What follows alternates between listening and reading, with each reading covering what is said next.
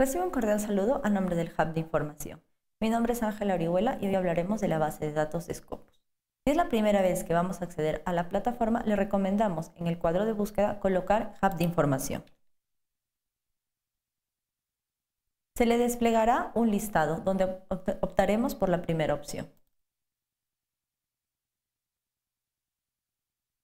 En nuestra plataforma, en la parte superior, encontraremos diversidad de menús entre ellos recursos virtuales y biblioteca virtual. Al lado derecho de biblioteca virtual encontraremos un cuadro de búsqueda, donde colocaremos Scopus.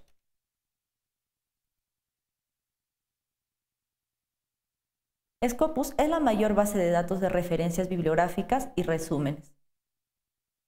Es un recurso disponible en campus y nos ofrece áreas temáticas como administración, arquitectura, diseño, entre otros.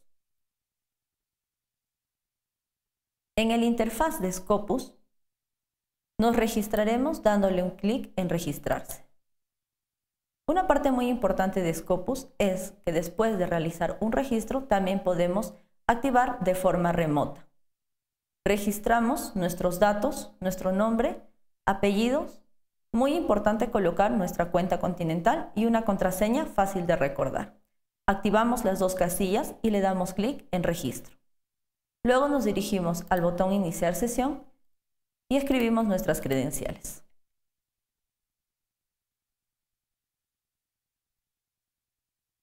Para activar de forma remota este acceso, le damos nuevamente clic en nuestras credenciales y activamos de forma remota o el acceso remoto.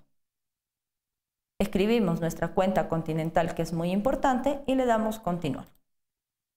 Scopus nos enviará un mensaje a nuestra cuenta continental dándonos el, permiso de acceso remoto.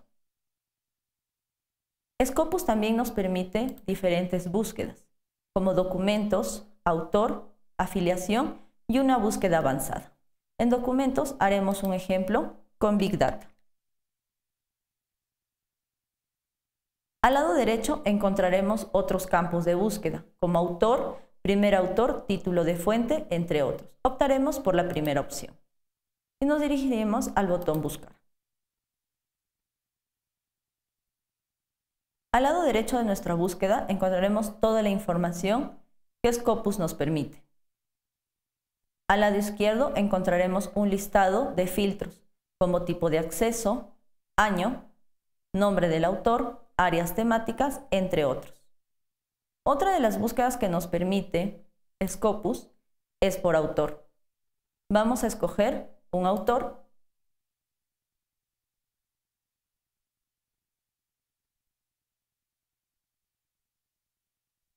y le damos buscar. Del mismo modo, al lado derecho nos brindará la información que hemos requerido.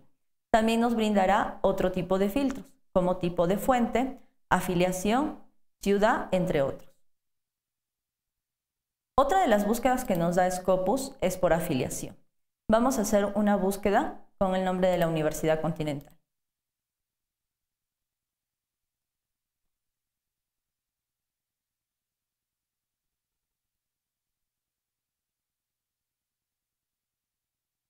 Nos sale dos tipos de resultados, un, resultado cuantitativo y el resultado cualitativo. Nos indica que la Universidad Continental tiene 141 documentos afiliados a Scopus y 81 autores.